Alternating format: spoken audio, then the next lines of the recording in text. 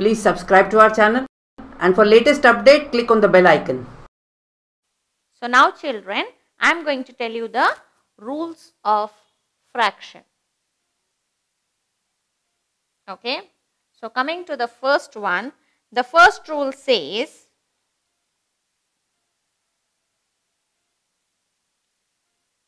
to get fractions as equivalent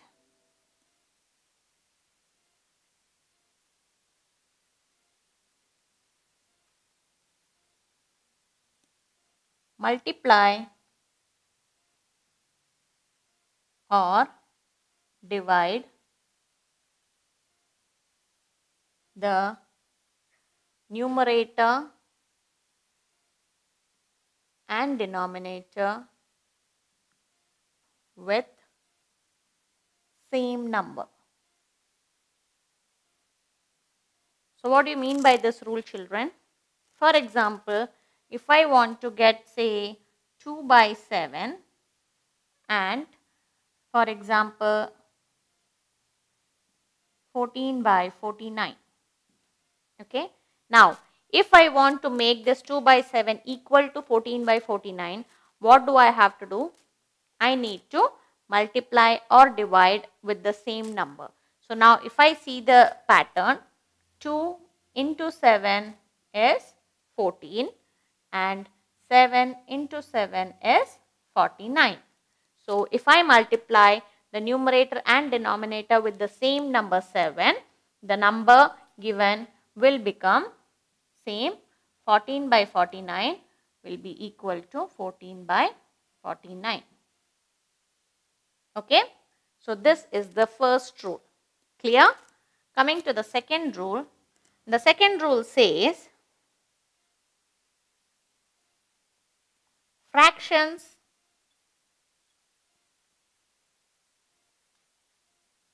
with same denominator are like fraction.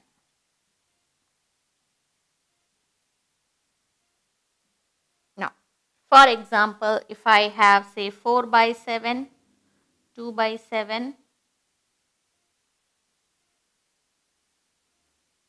5 by 7. Okay. So, these are called as like fraction.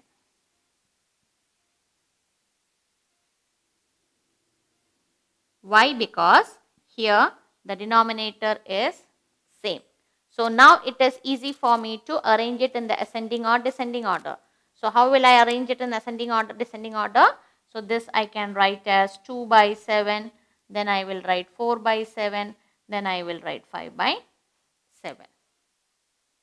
Clear? So, now the next rule comes in fractions with different denominators are unlike fractions.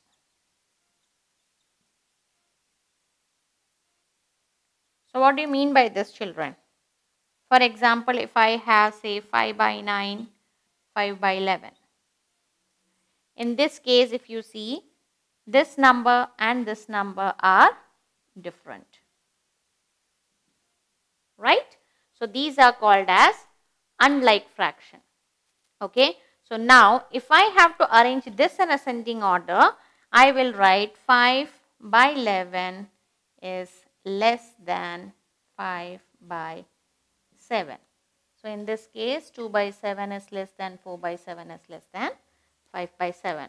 So, this goes in the ascending order the way how we find for the whole numbers. Whereas, in this case the number with a greater denominator comes first. Why? Because if suppose I have to divide it in 11 parts, say 1, 2, 3, 4, 5, 6.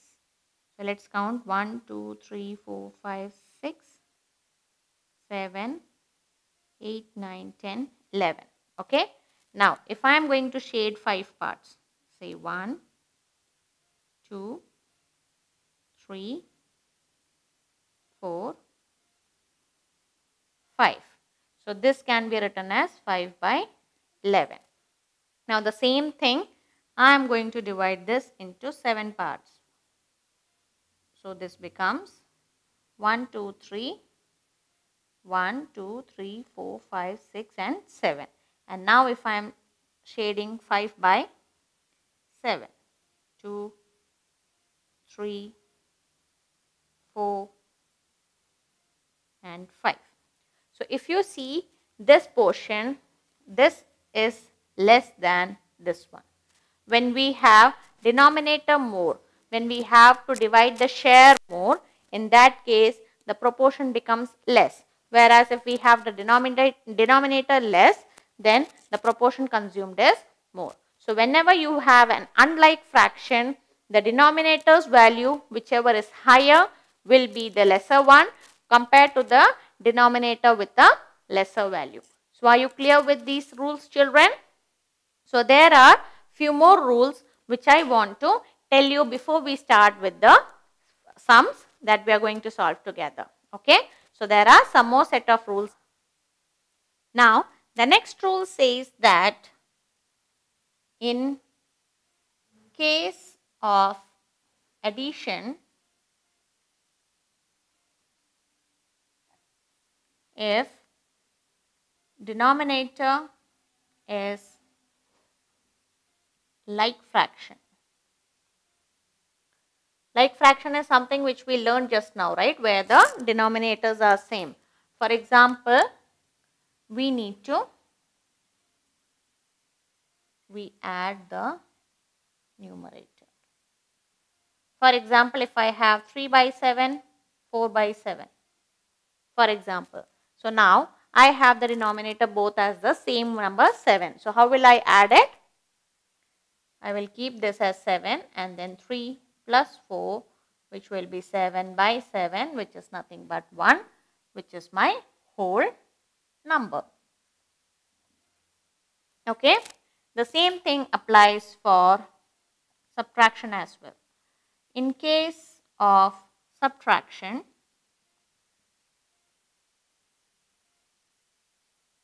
if denominator again is like fraction.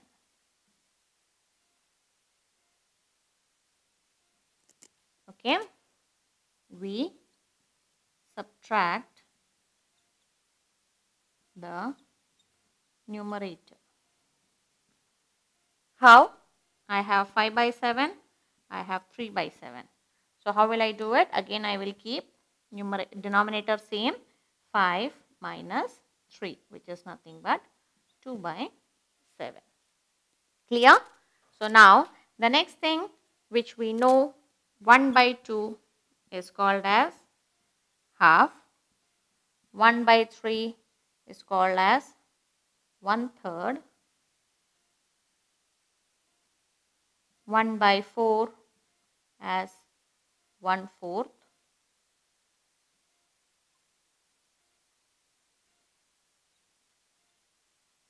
1 by 10 as 1 tenth and so on right and if we want to make it as a whole number we need to multiply this thing with the given denominator for example 1 by 2 if I multiply by 2 it becomes 2 by 2 which is a whole number similarly if I want to multiply 1 by 3 I need to multiply it with 3 itself which becomes 3 by 3 or the whole number. So, if I want to make my fraction as a whole number, I need to multiply it with the same denominator in order to make it as a whole number. And this will happen only if it is in these cases. Clear?